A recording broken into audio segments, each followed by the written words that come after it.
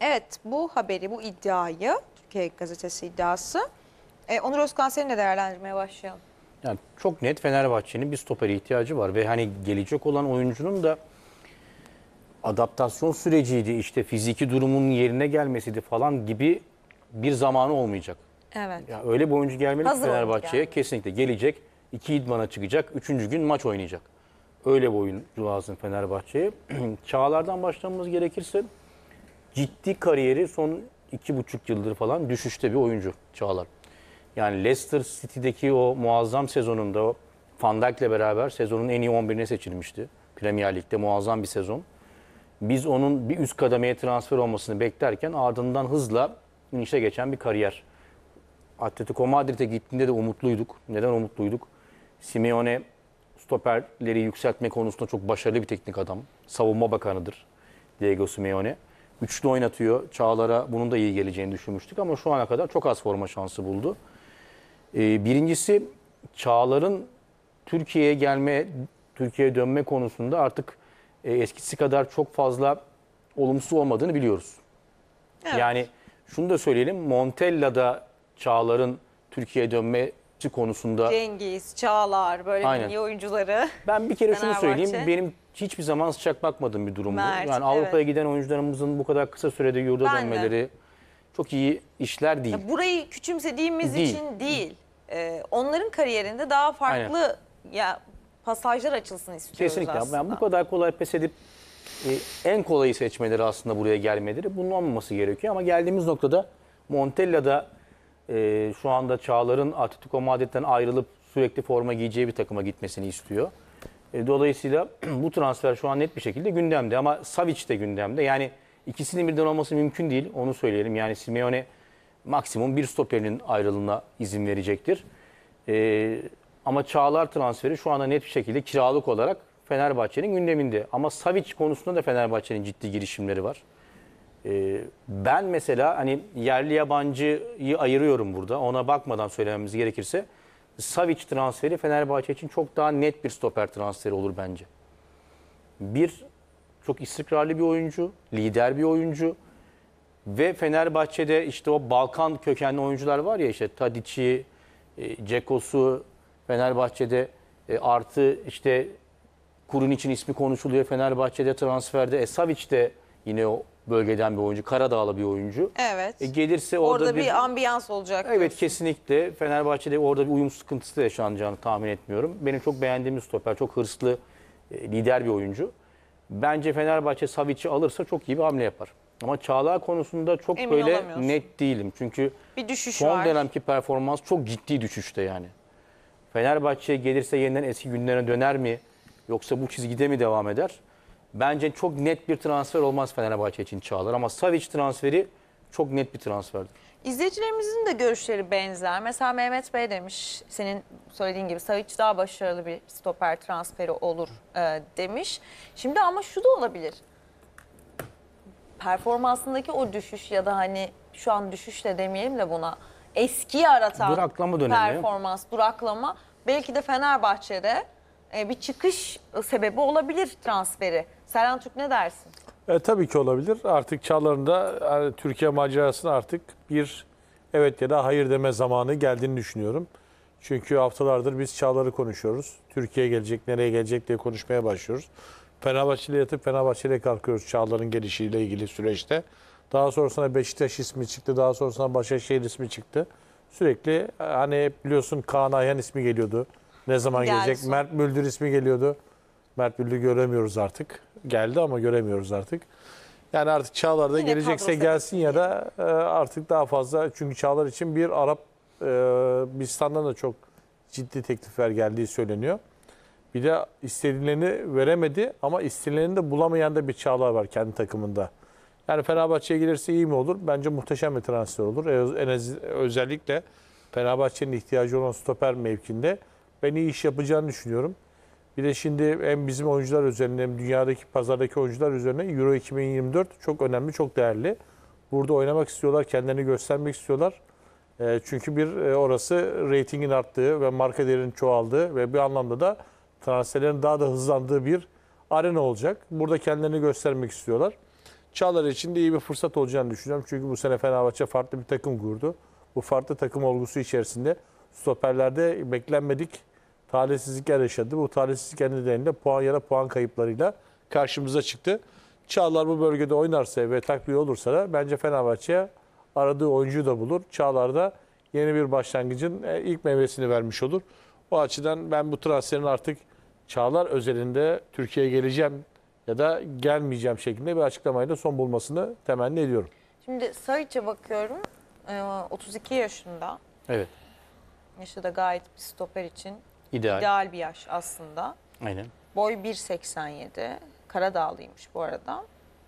Ee, tekrar Çok hırslı edelim. bir oyuncu. Yani hatta bu hırsı bazen biraz böyle aşırıya kaçabiliyor. Kart görmeye meyilli bir oyuncu ama çok lider bir oyuncu. Yani Fenerbahçe'nin arayacağı bir profil. Ciku ile beraber. Şiku ile beraber çok net bir ikili olurlar diye düşünüyorum. Hatta bir- şöyle söyleyeyim. Savic gelirse e, Bekao da iyileşti diyelim. Savic o takımın birinci stoperi olur. Biz yerine ya- yanına kimin geleceğini konuşuruz. Ciku mu olur işte Bekao mu olur onu konuşuruz. Sen kimi düşünürsün? Ha, diyorsun ki banko oyuncu Banko Savic, Savic olur olur. zaten. Savic Ciku çok bence iyi bir ikili O zaman. Serdar'dan vazgeçtik, Samet'ten vazgeçtik ve Ama zaten mecbur kalmadığı sürece hocanın tercih etmediği Aynen. oyuncular. Ya bir de şöyle bir şey var Çağlar konusunda. Bizim milli takımımızın çok net birinci stoperi Abdülkerim Bardakçı artık. Yani O- bu saatten sonra biz partneri kim onu konuşmamız gerekiyor ama net bir partneri yok şu anda. Şimdi Çağlar düşüşte, Merih düşüşte. sol stoperi Abdülkerim. Evet kesin. Samet Akaydın'ın performansı çok tartışmalı. Bu çok net. Kendi takımlarda forma bulamıyor. Efendim? Formada şansı bulamıyor. Evet bulamıyor. Oynamak istediğini- Bence ayrılacak bu arada Yani Samet zaten Akaydın oynamak istediğini dile getiriyor. görüyor. Oynayabileceği bir takımda oynamak orada istediğini. e, Çağlar'ın dönüp Fenerbahçe'de o eski günlerini yakalaması milli takımımız için çok önemli bir artı olacaktır. Bu yönden de bakmamız gerekiyor ama tabii ki e, burada Fenerbahçe'nin bir stoper transferi mi iki stoper transferi mi yapacağı o da çok aslında muammada. Yani şöyle bir gerçeğimiz de var. Şimdi Bekao'nun dönüşü Mart ayının başını bile bulabilir deniyor. Yani beklenenden uzun sürebilir. Normalde Şubat ayı hedefleniyor ama hazır hale gelmesi, ritmini yakalaması falan Mart'ı bulabilir deniyor. E, Ciku'nun minimum 4 maç bence minimum 6 maç olacaktır. O çünkü Gana ciddi favori turnuvada. Mutlaka Evet. gruptan çıkacaktır. O dönemde kim oynayacak? Serdar Aziz, Osterwolde ciddi problem Fenerbahçe için baktığımız zaman. O yüzden de yani belki de Fenerbahçe bir sürpriz yapıp iki stoper transferi bile gerçekleştirebilir. Çünkü şöyle bir gerçeğimiz var bizim. İşi şansa bırakmak istemeyecek. Aynen yani öyle bir lig yaşıyoruz ki zirvedeki takımların çok az puan kaybettiği bir lig. Yani normal şartlarda Fenerbahçe'nin ikinci yarının ikinci haftasında bir beraberlik alması normal bir skordur ama bu ligde normal değil artık. Değil evet. Yani iki hafta siz puan kaybettiğiniz zaman herhangi bir takımdan bahsediyorum Galatasaray ya da Fenerbahçe Yarıştan bir anda evet makas açılabilir. O yüzden de kesinlikle işin şansa bırakılmaması gerekiyor. Bence yönetim burada bir sürpriz yapabilir. İki stoper transferi bile olabilir. Bu arada Kurunç'u da konuşalım. Hazır Fenerbahçe'den bahsediyorken uzun zamandır konuşulan bir isim hala da gündemde. Yani İsmail Hoca'nın sezon başından bu yana belki de en çok istediği oyuncu diyebilirim kurun için. Ki Fred daha yokken O oyuncunun da istediği konuşuluyor. kesinlikle evet. Yani Fenerbahçe. oyuncu zaten Ceko ile konuştu. Fenerbahçe'ye gelmeyi hep istiyordu. Dediğim gibi buradaki Balkan kökenli oyuncular var. Onlarla sürekli temas halinde. Fenerbahçe öyle bir oluşum yakaladı orada. Bir Balkan kökenli Evet. oyuncu oluşumu. Mesela Fenerbahçe'nin e, 2000 yılındaki 2001 yılındaki şampiyonluğunda yine Balkan kökenli oyuncular vardı. Daha sonra Zico döneminde Brezilya kökenli oyuncular hep vardı Evet bu tarz Fenerbahçe'de. am- yani olumsuz yansıdığı da olabiliyor takımlar ama genelde Evet. bu tarz ambiyanslar e, başarılı giden sezonlarda diyelim ve Fenerbahçe için şu an sezon başarılı gidiyor. E, o yüzden Olumlu yansıyor. olumlu yansıyabilir. Beşiktaş'ta Afrikalı futbolcular olumsuz yansıdı. Ama kötü bir sezon Evet geçiriyor. kötü bir sezon olduğu için. Dediğin Evet. gibi. Dolayısıyla kurun iş transferi hocanın çok istediği bir transfer. Biz, biz Afrikalı oyuncular geldiği zaman, gittiği zaman Beşiktaş ne yapacağını düşünürken Beşiktaş temelli ne yapacağını düşünmeye başladı. Tabii aynen. Şu anda sezon sonunda veya şimdi ne olacak bunlar onu düşünüyor Tabii şu tabii anda. tabii. tabii.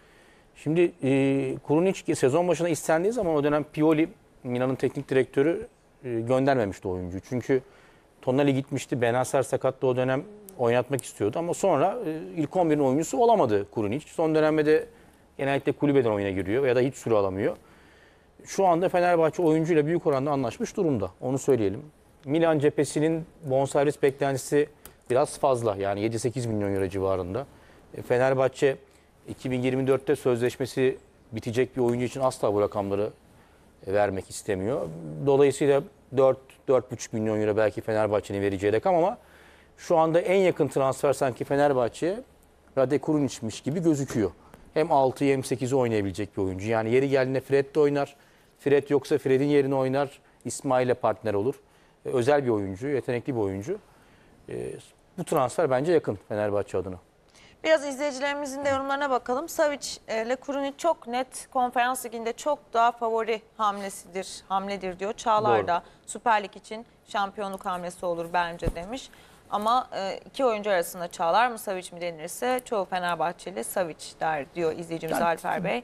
Müthiş lider bir performans stoper. olarak evet. Umarım alınır demiş. Çağlar'ı da alırsak çok daha iyi olur demiş. Evet, herkes alsın istiyorlar Fenerbahçeler takımı yani. Bütün Çok seviyoruz transferi, yapsın. çok seviyoruz. Bayılıyoruz ya. Aynen. Hayır ama şimdi stoper transferi zaten ihtiyacı O kesin o, elzem o Fenerbahçe'nin artık şu yani. anda. Olmazsa olmaz artık o iş yani. Ama e, kurun işte uzun zamandır konuşuluyor gerçekten. E, şimdi biraz daha heyecanlı Fenerbahçeliler çünkü sanki daha sen de söyledin ilk transfer olacak gibi görünüyor. Yani şu an en yakın transfer sanki o. Yani en fazla mesafe kat edilen oyuncu Rade Kurunic. Yani Fenerbahçe Fred'siz dönemde çok büyük sıkıntı yaşadı. Yani Fred'in boşluğunu doldurmak çok kolay bir iş değil. Şu anda yani dünya futbolunda bile çok kolay değil Fred'in boşluğunu doldurabilmek. Çok özel bir oyuncu. Yani bu toprakların oyuncusu değil. Bu ligin çok üzerinde futbolcudan bahsediyoruz. Dolayısıyla zaten herhangi bir oyuncunun direkt Fred performansı vermesini bekleyemeyiz. Bu her oyuncu için bir haksızlıktır aslında. Sadece Fred'in performansına yaklaşan bir oyun bekleyebiliriz. Yani bunu ne Crespo yapabilir, ne İsmail yapabilir, ne Zayis yapabilir. Ama Kurunic geldiği zaman bu arada çok farklı bir oyuncu profil olarak onu söyleyelim. Ama en azından Fred'in performansına yaklaşan bir oyun sergileyebilir. Başka bir şey oynayabilir. Mesela Fred'in yapamadığı bir şey yapabilir. Hücumda skor üretebilir. Asist yapabilir, gol atabilir. Rade Kurinic'te bu yetenek var. Ee, dolayısıyla Kurunic transferi bence Fenerbahçe'nin şampiyonluk yolunda en kritik hamlelerinden biri olur. Mesela bana şey yazmış sana soruyor aslında özellikle bizim Temel var İlyas Temel Norveç'ten yazıyor.